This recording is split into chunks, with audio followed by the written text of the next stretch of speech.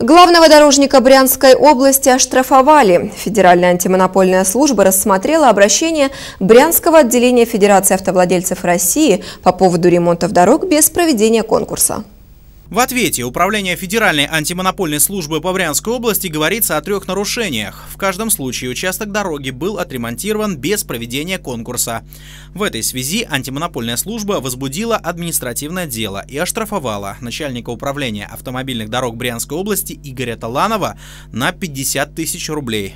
Есть ли в действиях главного дорожника состав уголовного преступления, определят органы внутренних дел и прокуратура. В их адрес антимонопольщики направили информацию.